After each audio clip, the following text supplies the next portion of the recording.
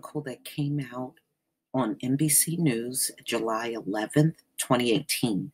New synthetic opioids are killing even more people, CDC says. And now remember, you're never going to get the real true numbers. Overdose victims may need extra naloxone, the agency warns. And see, this these are the hazmat suits they have to wear because so many police officers and DEA agents have come in contact with fentanyl and had to be rushed to the hospital for overdose. Okay. New synthetic opioids are killing more people than ever before, with more than half of all opioid overdose deaths caused by the powerful lab made drugs, officials say, and this was uh, Wednesday, so this is a pretty recent story. The Center for Disease Control issued a health alert network warning about the increased supplies of illicit drugs, which are many times stronger than fentanyl, the prescription painkiller.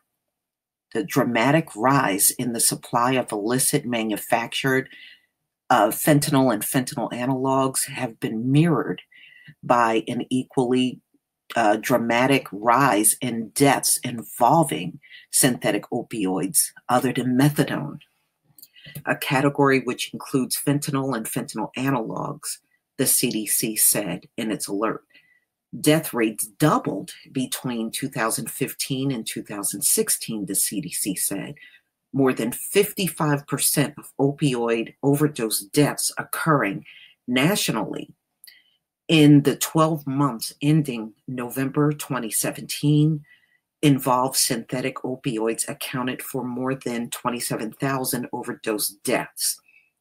The CDC said in a health alert, citing preliminary numbers. That is up from 20,000 overdose deaths from synthetic opioids in 2016. People who overdose on synthetics may need uh, multiple doses of naloxone. All right. okay. So, you know, again, all of these um, fentanyl analogs are coming from China. And they don't know how to control this thing at all. All right. All right, new drugs include carfentanil, that's the um, tranquilizer that's used for large animals, like your elephants and rhinoceros. And these folks are taking that mess and dying. Other illicit synthetic opioids includes phenyl, fentanyl, and acrylfentanyl.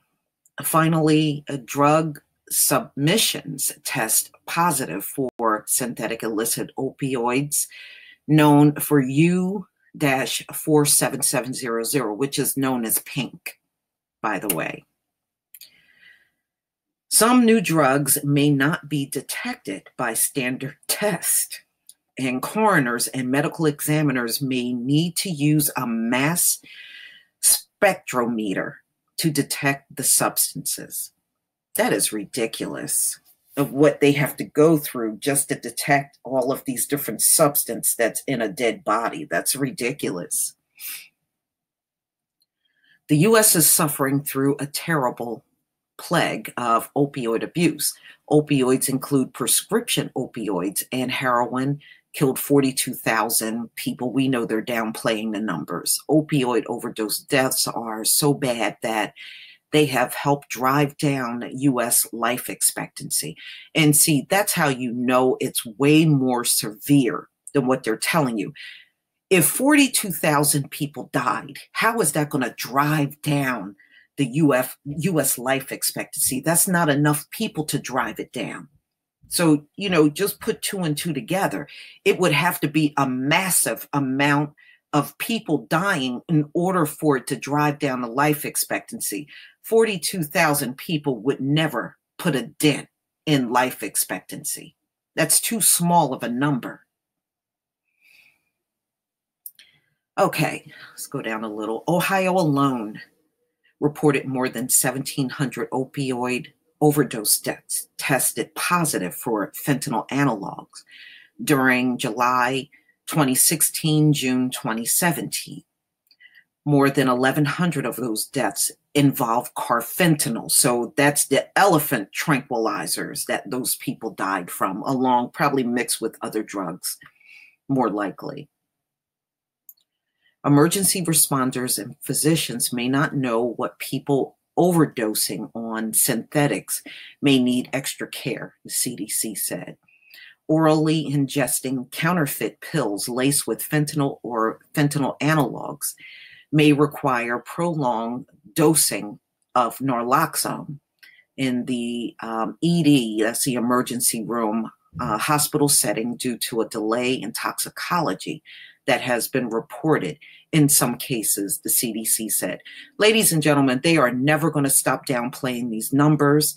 Like I said, it's a lot of shame that they feel that they can't control this um, plague that's going on in the country. You know, they've waited until millions and millions of people are abusing this stuff to start crying foul. They should have done that maybe over a decade ago. Perhaps they would be better off today.